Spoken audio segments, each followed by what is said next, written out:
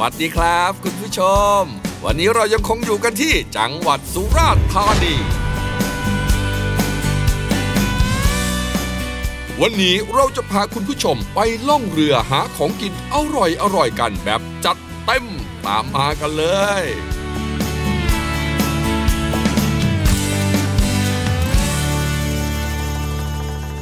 เอาละครับ ร้านเด็ดประเทศไทยนะครับ มาที่สุราษฎร์ธานีมีอีกหนึ่ง destination ที่พลาดไม่ได้คือ เขื่อนเชี่ยวหลานหรือเขื่อนรัชประภาครับผม ถูกต้องนะครับ ก็อ่า บอกได้เลยว่าเป็นสถานที่ท่องเที่ยวที่โด่งดังมากของสุราษฎร์ธานี แล้วก็ใช้เวลาเดินทางเดี๋ยวเรา search กันว่ามันใช้เวลาประมาณเท่าไหร่เอาจริงๆ แต่บอกนะได้เลยที่นั่นมีที่พักดีอาหารอร่อย ตื่นเต้นกับทริปนี้มากเพราะผมไม่เคยไปเลยตั้งแต่เกิดมาในชีวิตโอ้โหดีใจตื่นเต้นมากเลย เราจะไปตะลุย เขื่อนเชี่ยวหลานกัน ครับผม เอ๊ะ ร้านเด็ดประเทศไทยไปพาไปชิมอาหารไม่ใช่เหรอ มีมีร้านอาหารอร่อยอาหารนี่แบบสดมาก โอ้โห ดีเลยทั้งเที่ยวเลยทั้งกิน ไป เดี๋ยวไปพวกเราครัไปบครับ เดี๋ยวขออนุญาต search ก่อน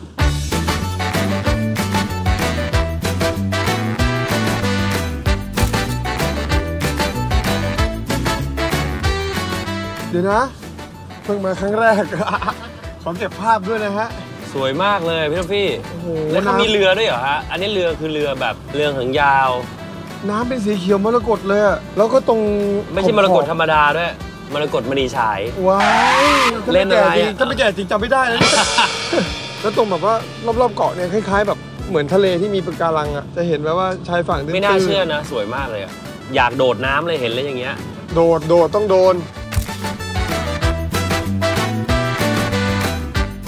แลนด์มาร์คสำคัญที่ห้ามพลาดก็คือเขื่อนรัชประภา หรือเขื่อนเชี่ยวหลานโอ้โหความสวยงามของเขื่อนเชี่ยวหลานท่านผู้ชมครับ นี่จริง ๆ ผมแยกกับพี่ทอฟฟี่นิดนึง เพราะพี่ทอฟฟี่เองเนี่ยไปอยู่ที่ท่าเรือรอละ แต่ตอนนี้ผมนัดเจ้าของรีสอร์ทพันวารีเดอะกรีเนอรี่นี่เขาน่าจะอยู่แถวนี้แล้วนะฮะเขาชื่อพี่ต้น พี่ต้นครับ พี่ต้นอยู่ไหนครับ สวยมากเลยตรงเนี้ยพี่ต้นครับอุ้ยโอ้ยสวัสดีครับพี่ครับสวัสดีครับโอ้โหนี่เจ้าของรีสอร์ทนะฮะดูเป็นเสียมากเลยครับพี่ เมื่อไหร่คลอดดูยังไงครับดูเป็นเสีย ชื่อรีสอร์ทว่าอะไรนะพี่เอาดีๆอีกทีหนึ่งพันวารีเดอะกรีนนารีครับพัน วารีเดอะกินเนอรี่ไกลจากที่นี่มากไหมพี่ นั่งเรือเข้าไปแค่ 30 นาทีครับ 30 นาทีครับอยู่แล้วกึ่งกลางของเขื่อนเลย แล้วจริง ๆ แล้วสเปซของเขื่อนรัชประภาเนี่ยมันมันมันทั้งหมดกี่ไร่อะถ้าเป็นผืนป่ารวมผืนป่าด้วยครับอ่าฮะอ่าจะเป็น4ี่แสนกว่าไร่สี่แสนกว่าไร่เลยเหรอครับแล้วเป็นผืนน้ำอ่าสองฮะแสนกว่าไร่สองแสนกว่าไร่ครับ เขื่อนรัชประภาหรือชื่อเดิมคือเขื่อนเชี่ยวหลาน ได้รับขนานฉายาว่ากุยหลินเมืองไทย เพราะมีความสวยงามของเทือกเขาหินปูนเหมือนกุยหลินประเทศจีน ของพี่จะอยู่ส่วนไหน อยู่ใจกลางครับตรงกลางคือมันมันไม่ได้เป็นรูปร่างเป็นสี่เหลี่ยมอะไรเงี้ยครับมันผมจะเป็นร่องน้ำตามอ่าจุดต่างๆครับเหมือนปากการังอะไรเงี้ยครับครับผมครับแต่วันนี้ผมจะมารีวิวอาหารพี่นะ พี่มีอะไรให้ผมทานอะ โอ้มาที่นี่มีเมนูเด็ดเยอะครับจริงเหรอ เป็นอาหารท้องถิ่นของที่นี่ นี่ผมลงใต้มาผมใต้ยังไม่ได้กินแกงใต้เลยนะ แกงเหลืองครับทานที่นี่เลย แกงเหลืองในเขื่อนเชี่ยวหลานเพราะว่าพปจ้ลาก็ต้องใช้จากที่นี่เป็นปลาในเขื่อนเลยเหรอฮะ ครับ แล้วพี่ตกสดๆป่ะก็มีชาวบ้านเออกมาให้ครับ เหรอเขาเป็นคนแล้วก็ เป็นหามาอีกอย่างหนึ่งที่มาแล้วต้องทานที่นี่ก็คือใบเหลียงผัดไข่ครับ อื้อหือยังไม่ได้กิน ยังไม่ได้กิน ยังไม่ได้กินข้าวแต่เช้าตอนนี้หิว งั้นผมต้องให้พี่ต้น พาผมไปแล้วนะฮะได้ตอนนี้พี่ทอฟฟี่ไปรอผมที่ท่าเรือละ ไปดีกว่าพี่ต้นไปโอเคนำครับ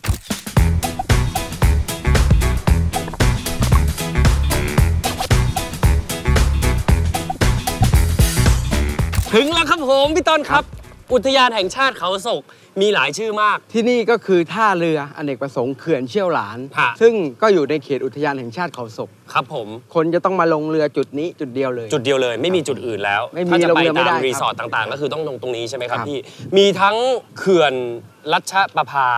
มีทั้งเชี่ยวหลาน ครับมีทั้งอุทยานแห่งชาติเขาศกครับ สามชื่อนี้อันเดียวกันหมด ก็คือเดิมชื่อเขื่อนเชี่ยวหลานครับ อ่า หลังจากสร้างเขื่อนเสร็จแล้วเนี่ย ในหลวงรัชกาลที่ 9 ครับ ครับ ก็ได้พระราชทานนามใหม่ อืม ว่าเขื่อนรัชประภา ครับซึ่งผมแปลว่าแสงสว่างแห่งครับผม รัชกาลครับ อืมและอุทยานแห่งชาติเขาศกเนี่ยมีอยู่แล้วเห็นบอกอุดมสมบูรณ์มากนะฮะ เดี๋ยวเราต้องไปตะลุยกัน เพียงแต่ว่าคุณกัตดาฟี่ผมไปไหน มาสักที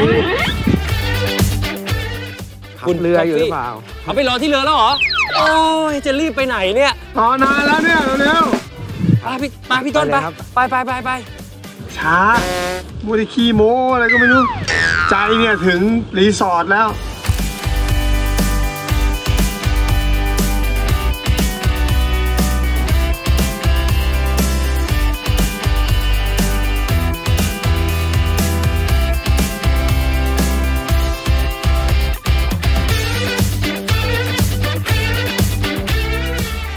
พี่ต้น ครับ ตรงนี้เขาเรียกว่าอะไรพี่ ตรงนี้ก็คือเขาเรียกว่ากุ้ยหลินน้อยครับ กุ้ยหลินน้อยกุ้ยหลินเหรน้อยคนส่วนใหญ่เนี่ยจะมากุ้ยหลินใหญ่ที่เขาสามเกลอครับครับ เพราะว่าตรงนั้นเรือใหญ่สามารถผ่านได้อ๋อแต่ตรงนี้เป็นโปรแกรมพิเศษนะครับ ต้องคนที่ชำนาญเส้นทางจริงครับๆนะครับ เรือเล็กจึงจะเข้ามา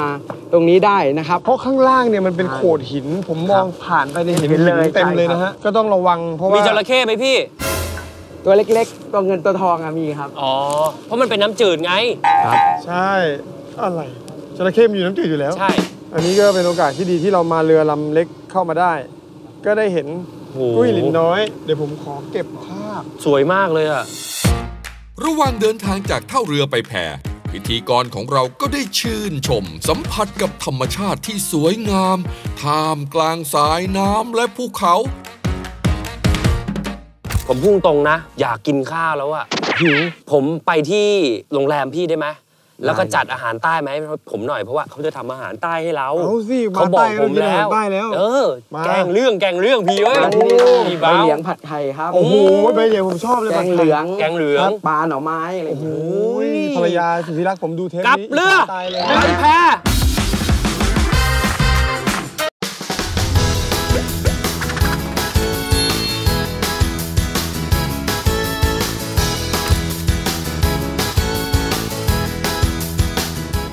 ลาประมาณครึ่งชั่วโมงก็มาถึงที่แพกันแล้วล่ะครับ เราถึงที่แพรพันวารีกรีนเนอรี่แล้วนะฮะ จุดเด่นอยู่ที่ทัศนียภาพข้างหลังนะครับ เป็นหน้าผาหินปูนสครับวยมาก เป็นแห่งเดียวในเขื่อนเชี่ยวหลานครับเป็นครั้งแรกของผมที่ประทับใจมากเพราะรอนานมากกว่าจะได้มา โอ้โหสมหูยการรอคอยฮะ โหมีพี่เขามารับด้วย สวัสดีครับ สวัสดีครับผมส วัสดีครับลูกมีหพี่นุ่มหล่อสาวสวยคอยยืนรอรับเราแล้วนะฮะโหสุดยอด พันวารีเดอะกรีนอรี่รีสอร์ทแพที่พักในเขื่อนรัชประภา สวรรสค์วรมารกค์เลบนยอะบนผืนน้ำบนดิน นี่คือแบบสิ่งที่โอ้ย โลกเขาขนลุกสร้างมาให้เรา ซึ่งมันขนลุกจริง ๆ นะพี่ต้น ตั้งอยู่ท่ามกลางหุบเขา บรรยากาศดี เป็นมายังไงพี่แพรพี่เนี่ย ตอนนั้นก็เรียนอยู่ที่มหาวิทยาลัยเซนต์จอห์นครับฮะกำลังจะจบพอดีครับ ครับแต่ที่บ้านนะครับเขาก็อยากให้เรากลับมาอยู่บ้านทำสวนอะไรอืมตามภาษาอืม บังเอิญได้เข้ามาเที่ยวในเนี้ยครับ แล้วพูดกับคุณพ่อเล่นๆว่า ถ้าคุณพ่ออะหาซื้อเซ้งสัมปทานที่เขาขายสัมปทานให้อะผมก็อยากมาสร้างที่นี่อะไรเงี้ยครับ อืมในตอนนั้นนะครับมันเป็นแพรที่มีมูลค่าน้อยมาก อืมนะครับเป็นไม่ค่อยมีแพร คนรู้จักนี่เหรอเป็นแพรไม้ไม้ไผ่มุงจาก ก็คือแบบง่ายๆเลยง่ายๆเลยครับ เริ่มตั้งแต่ตอนนั้นเลยครับ จนมาเมื่อ 6 ปีที่แล้วเนะครับ ทางอุทยานเห็นว่าการท่องเที่ยวที่เนี่ย คนสนใจเยอะแล้วอืมคราวนี้จะให้ยื่นแบบแปลนแบบถูกต้องครับครับปลอดภัยครับคราวนี้ก็เป็นจุดเปลี่ยนที่ถ้าเปลี่ยนแล้วผมต้องเปลี่ยนให้ดีเลยครับตัดสินใจทำแบบมาตรฐานแบบนี้เลยติดแอร์ใช้ทุนมาตรฐาน นะครับอืมเป็นแห่งแรกเลยครับที่ทำแบบติดแอร์แบบนี้ครับอืมไปบอกเจ้าของโรงแรมที่ตัวเมืองสุราษฎร์เขาบอกไม่มีทางหรอกพี่ว่าว่าแพงไปเจ๊น่นนอะไรอย่างเงี้ยใช่เจ๊งแน่อะไรเพราะว่าไม่มีใครมาอะไรเงี้ยตอนนั้นนะครับจังหวัดสุราษฎร์ธานีก็ตอนนี้ก็ตามนะครับยังไม่มีห้องพักที่ราคาเท่านี้เท่ากับลยในเขื่อนเลยมีพื้นที่พักผ่อนหย่อนใจสบายสบายๆพร้อมกับกิจกรรมพายเรือว่ายน้ำตามสโลแกน Your cozy home away from home แต่นี่คือหมายถึงว่าสองคนนะ6,000 7,000นี่คือต่อหนึ่งห้องสองคนใช่ครับอืมก็ถือว่าสูงนะ ถือว่าเป็นราคา5ดาวเลย แต่มาบอกได้เลยว่า คุ้ม ไม่เราก็กินอยู่กับพี่เขาหมดสามมื้อใช่ไหมฮะสามมีมื้อเจ้าหน้าที่เป็นไกไปส่ด์งพาไปเที่ยวตามโปรแกรมด้วยครับ มีตามโปรแกรมด้วย ครับ โอ้โหก็เหมือนซื้อแพ็กเกจมาเลย ใช่ครับ ไม่หรอก เข้ามาเจอบรรยากาศแบบเนี้ยโอ้โหยังไงก็คุ้ม เดี๋ยวจะต้องกินข้าว ครับ แต่เดี๋ยวขอเข้าห้องพงห้องพักก่อนแล้วเดี๋ยวอาบน้ำอาบเซตตรงท่าไหนให้ผมดีครับ เพราะว่าดินเนอร์ ที่เนี่ยร้านอาหารจะอยู่ชั้น 2 ยิ่งตอนเช้าเนี่ยทานอาหารเช้ามีเป็นไข่กระทะเป็นอะไรเงี้ยครับแล้วก็ดูวิวจากมุมบนได้เลยเอาเช้าเลยแล้วกันป่าผ่านเวลาแล้วอาหารมื้อเย็นเดี๋ยวเด็ดแน่นอนครับเป็นอาหารพื้นบ้านที่บอกไปงั้นเราไปพักผ่ไปอนก่อนไปพี่ ไปไป นะเดี๋ยวพี่ผมว่าคุณผู้ชมอิจฉาผม มามามามาเชิญครั้งหนึ่งในชีวิตผมเลยนะเนี่ยมามาที่มาแบบ เชี่ยวหลานที่นี่มีครบทั้งที่พักกิจกรรมสนุกสนุกแล้วที่ขาดไม่ได้คืออาหารการกินมาบอกเลยครับว่า เด็ดแน่นอน แต่จะเป็นอะไรนั้นตามไปดูกันเลย มันจะชิลอะไรขนาดนี้นะ หิวเลยผมเล่นน้ำพายเรือนี่คือทำจุกิดจกรรม แล้วจุดประสงค์เราก็คือมารีวิวอาหารครับบอกได้เลยผม ร้านเด็ดประเทศไทยนี้วันนี้นะ มาต้องรีวิวเมื่อกี้อ้าวพี่ต้นเปลี่ยนไปเป็นพี่หยกแทนพี่หยกนะฮะสวัสดีพี่หยกครับพี่หยกสวัสดีครับภรรยาค่ะพี่ต้น ก็คือเรื่องอาหารก็ต้องให้พี่หยกนี่แหละให้พี่หยกเขาเป็นคนดูแลวันนี้เขาเลยมาคุยนิดนึง ก็คืออาหารของที่รีสอร์ทของเราเองเนี่ยก็คือจะอินคลูดไปอยู่ในค่าห้องถูกไหมฮะใช่ค่ะจะรวมอยู่ในแพ็กเกจที่ลูกค้าเลือกซื้อกับเราอะค่ะอ่าก็คือกี่มื้อฮะอาหารทั้งหมด 3 มื้อค่ะ เริ่มตั้งแต่มื้อเที่ยงตอนที่มาถึงนะคะ แล้วก็มื้อเย็นแล้วก็พรุ่งนี้มื้อเช้าก่อนที่จะเช็คเอาท์จากรีสอร์ทก็เป็นเบร a ฟาสต์ไปใช่ค่ะ แล้ววันนี้ที่บอก ครับ แกงใต้เนี่ยผมนั่งกำไรไหลอยู่ใจเย็นช่วยคุยหน่อย คุณเนี่ยเริ่มโอ้โหผมจ้องไปที่อาหารเลยเดียวแต่ได้อืว่ามหิวใช่ไหมเมื่อไหร่จะบอกอะรีวิวอะไรเงี้ยพี่ต้นได้บอกไว้ว่าค่ะวันนี้พี่เขาจะทำแกงเหลือง มาแล้วมาแล้ว เริ่มต้นด้วยเมนูอาหารใต้แท้ๆอย่างแกงเหลืองปลากระพงหน่อไม้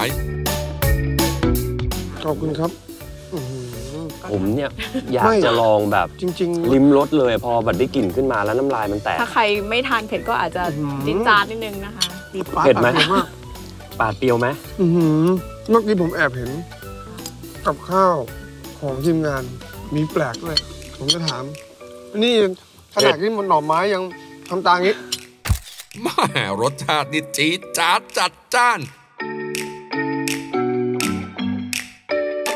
ลองให้นึกตามท่านผู้ชมว่าแกงเหลืองชามเนี้ยจะมีความเปรี้ยว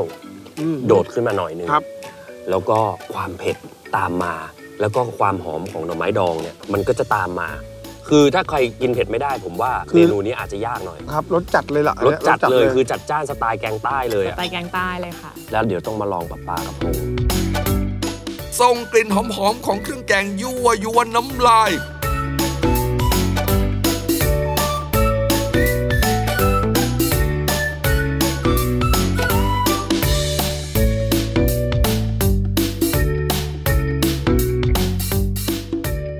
แต่หน้าหน้าตาดีหมดเลยนะ หน้าตาคืออาหารหน้าตาดีมาก แล้วอร่อยด้วยอะอันนี้รสชิมชาอย่าติงแรกคืเลอยคือถึงเลยอะแต่เราเริ่มผิดเราเริ่มเผ็ดร้อนอืมอันแรกไงนั่นเลยอืม จริงๆมันต้องเริ่มแบบเบาๆไปป่ะและนี้ยอดนิยม ใช่ค่ะอันนี้อีกเมนูหนึงก็เป็นเมนูใบที่เหลืองใช่ใบเหลียง ใบเหลียงผัดไข่ ผัดไข่ค่ะ เมนูใบเหลียงผัดไข่ ถ้าเกิดใครมาทางใต้ก็ต้องทานเมนูนี้นะคะ ผมอยู่กรุงเทพผมยังไปหาร้านใต้แล้วก็สั่งไปเดี๋ยวข้าวใจกินเลยเขาชอบอาหารใต้ แต่ละร้านเขาก็จะไม่เหมือนกันวิธีการผัด ค่ะใช่ค่ะ อันนี้ก็จะผัดผัดเป็นแบบใบใหญ่นิดนึง ใช่ค่ะ เหมือนเหมือนหั่นหยาบนิดนึงให้ดูเป็นแบบ texture ของใบเหลียงอยู่ ผักเหลียงเป็นชื่อเรียกผักชนิดหนึ่งที่พบมากในภาคใต้ตอนบน อย่างจังหวัดชุมพรและสุราษฎร์ธานี ให้รสชาติมัน ไม่มีรสขมเหมือนผักชนิดอื่นๆ น้ำมาผัดกับไข่ก็จะได้รสชาติและความมัน อร่อยลงตัวรสชาติมาแบบกลางๆนะค่ะไม่มีอะไรโดดอืมดีมากเลย กินกับน้ำพริกก็ได้นะจริงๆใบเหลียงผัดน้ำพไข่ริกเนี่ยนี่น้ำพริกตัวนี้นี่ใช่ใช่น้ำพริกอะไรพี่หยกน้ำอันนี้น้ำพริกกะปิค่ะไม่ละแสบเป็นฝีปากแล้วเนี่ยเจอแกงเหลืองไปเนี่ยอืมกินกับใบเหลียงได้ น้ำพริกเนี่ย แล้วเข้ากันมีไข่ด้วยนะ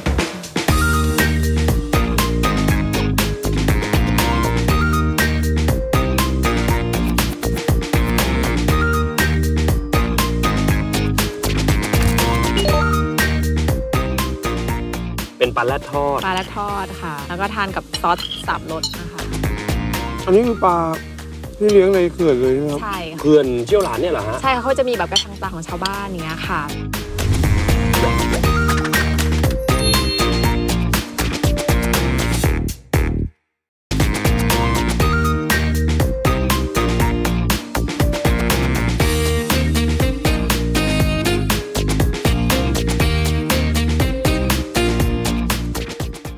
ป็นปลาแรดทอด ปลาและทอดค่ะ แล้วก็ทานกับซอสสามรสนะคะ ครับผม นี่ซอสสามรสอยู่นี่ครับ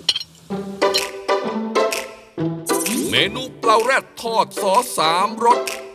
อืมปกติเขาราดมา แต่อันนี้เป็นแบบน้ำจิ้มสามรสแยกมา เป็นปลาแรดทั้งตัว กว่าปลานินกว่าปลาทับทิม ทับทิม เมื่อก่อนอะปลาแรดอะคนเอามาทำเยอะนะ แล้วหลังๆ คนไปปลาทับทิมหมดเลยอะแล้วหาปลาแรดกินก็หาไม่ค่อยมีแล้วอะถ้าจะกินก็ต้องไปแถวอุทัยธานีชัยนาทบ้านผม ปลาแรดทอดกรอบๆกลิ่นหอมๆกินกับซอสสามรส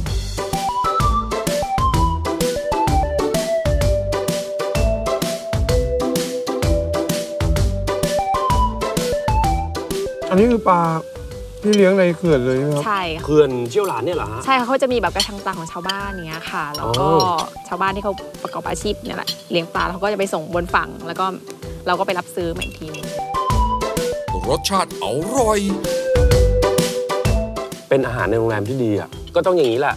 เพราะว่าเรามาฝากท้องไว้ที่นี่เนาะเขาก็ต้องคัดสรรให้ดีที่สุดสำหรับลูกค้าจริงๆอะไม่ถูกปากมันเดี๋ยวบ่นตายบ่นตายเลยไม่ดีใช่ไหมอร่อยทุกอย่างทุกเมนูบอกได้เลยว่าไม่ได้มาแค่เสพบรรยากาศอย่างเดียวครับอาหารที่คุณมาฝากท้องไว้ที่นี่ก็รสชาติดีงามเลยแม่ครบครันเรื่องความอร่อย เชิญชวนเลยจริงๆ จะจองยากหน่อยแต่ก็อยากให้มา เพราะเพราะเขาเต็มค่อนข้างเต็มพอสมนานคๆวหรน่อยนะฮะล่วงหน้านะฮะกับที่นี่แพรพันวารี The Greenery The Greenery ครับผมอยากให้มาจริงๆครับ อาหารบอกได้เลยว่าอืมว้าเป็นยังไงบ้างครับพิธีกรแม่กินอาหารอร่อยอร่อย ตากลมท่ามกลางบรรยากาศชิวๆสบายๆแบบนี้แม่ฟินแทนจริงๆ ดีงามอะ มันดีงามห้องพักก็ดีงามมาพักผ่อนบรรยากาศแบบสวรรค์บนดินพุ่งตรงมาชาร์จแบตให้ตัวเองพุ่งตรงกัะนี่ครั้งแรกในชีวิตผมจริงๆนะเหมือนกันผมครั้งแรกขอบคุณรายการร้านในประเทศไทยขอบมากณๆครับ แล้วผมบอกว่าเดี๋ยวผมจะพาภรรยาสุดรักผมมาฮะพร้อมกับยินดีลูกของผมอืมแล้วก็พาว่าที่ภรรยาครับผมมามาด้วยกันนะอีกรอบหนึ่งครับผมได้ครับแต่เราจองข้ามไปแล้ว อีก 3 เดือนเราถึงจะได้มาใหม่ ประมาณ2-3ถึงเดือน เพราะฉะนั้น รีบดูปุ๊บรีบจองเลยฮะรีบโทจองรมาเช็คเลยครับว่าว่างเมื่อไหร่เดือนหน บอกได้เลยบอกได้เลยว่าว้าวแน่นอน ใครที่มีโอกาสมาเที่ยวจังหวัดสุราษฎร์ธานีแล้วยังตามหาที่พักดีๆ อาหารอร่อยอร่อยๆก็ลองตามรอยร้านเด็ดประเทศไทยมานะครับ รับรองว่า โดนแน่นอน สำหรับการเดินทางพันวารีเดอะกรีนเนอรี่รีสอร์ทพิกัดอยู่ในเขื่อนรัชประภาจังหวัดสุราษฎร์ธานี การเดินทางให้ลงเรือที่ท่าเรือเทศบาลเขื่อนเชี่ยวหลาน จากนั้นนั่งเรือ 30 นาทีก็จะถึงที่แพเลยนะครับว้าวอาหารตาและอาหารท้องบอกเลยทุกอย่างมันลงตัวมาก สุดยอดมาก ขอบคุณมากพี่หยกครับยินดีค่ะร้านนี้ต้องให้จริงๆร้านเด็ดประเทศไทยครับอืมมาขออนุญาตตบตูดด้วย กล้วยทอด มีเหรอนี่หวานเอ๊ะคนเสิร์ฟเป็นไงคนเสิร์ฟ กล้วยทอดนี่เป็นกล้วยหอหมวานทเราอก็ด จะเป็นกล้วยหอมทอดใช่ค่ะแล้วก็มีซอสช็อกโกแลตมาด้วย เราราดแบบนิดหน่อยพอไหมอืม เอาเอาเอาเอา อืม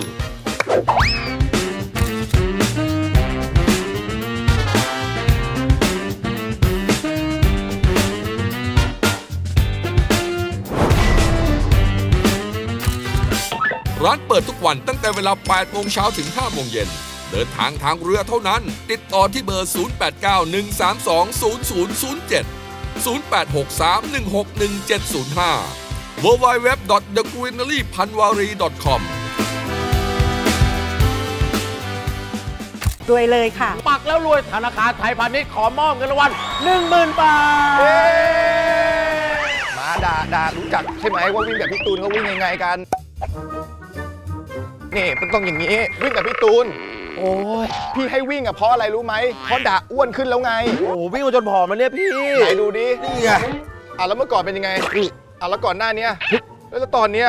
แล้วเมื่อกี้โอ้ยทำมากกว่านี้ก็เป็นระบำหน้าท้องอินเดียหรอกพี่ที่ให้วิ่งแบบเนี้ยมันดีต่อสุขภาพเพราะสถานที่ที่เรามาวันเนี้ยเกี่ยวกับสุขภาพจะเป็นยังไงอะไปครับผมไปครับพี่ด่าครับโอ้ยเดินได้ไหมเนี่ย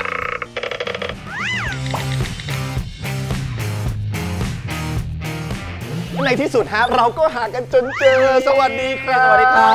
บคุณพี่ชื่ออะไรครับ ชื่อต่อค่ะ นี่คืออะไรอะฮะที่นี่เป็นการดูแลสุขภาพแบบองค์รวม นี่คือรีสอร์ทสุขภาพ ใช่ค่ะ ผมมาอยู่ที่ไหนผมไม่เคยเข้ามาเลยในภูเก็ต โอ้โหนี่วิ่งเข้ามาลึกมากเลยนะครับเนี่ย เมื่อก่อนเป็นยังไงฮะ ลูกค้าเขาหาที่นี่เจอได้ยังไงครับ ก็ค่อนข้างลำบากเหมือนกันค่ะ หลังจากปักหมุดบน Google My Business แล้วเป็นยังไงบ้างครับ ลูกค้าเยอะขึ้นมากเลยค่ะจากแต่ก่อนนะคะ แล้วก็ลูกค้าหาเราง่ายขึ้นอ๋อเนาะดีจังเลยอะ ดีมาก ใช่ครับ ถ้าคุณมีหน้าร้าน แค่ปักหมุดร้านบน Google My Business ก็จะทำให้คุณลูกค้าหาง่ายและขายดีทำได้ฟรีที่ธนาคารไทยพาณิชย์ทุกสาขาทั่วประเทศ ใช้เวลาแค่ประมาณ 30 นาทีเท่านั้น แค่มีบัตรประชาชนและหลักฐานยืนยันที่อยู่ของร้าน พร้อมกับสมุดบัญชีของธนาคารไทยพาณิชย์หากไม่มีบัญชี ก็สามารถเปิดได้ที่สาขา แล้วปักหมุดร้านบน Google My Business ได้เลยครับ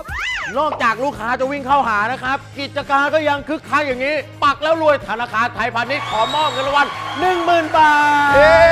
ท คราวหน้านะฮะร้านไหนจะได้รับ 10,000 บาทจากธนาคารไทยพาณิชย์ ติดตามกันให้ดีนะครับผมร้านไหนอยากปักและรวยต้องรีบปักหมุดเลยนะคะ รวยเร็วรวยเลยค่ะข้างนอกเฮนะครับผม